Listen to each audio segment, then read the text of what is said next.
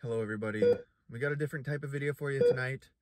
I'm going to be doing some voice impressions. I've driven out in my car into the middle of nowhere where no one can hear me, hopefully, so I can make an absolute fool of myself and be loud.